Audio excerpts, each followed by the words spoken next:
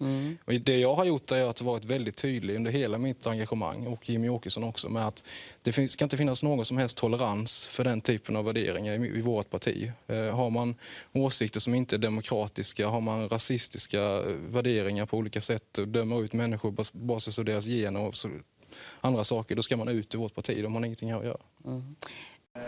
Så jag tror inte man behöver vara särskilt orolig som, som vanlig medlem. Så. Om man bara använder sunda förnuftet och, och försöker att inte eh, kontinuerligt lyfta fram rasistiska, nazistiska, antidemokratiska idéer, tankar, artiklar eh, och så vidare. Så, så, så, så borde det inte vara så.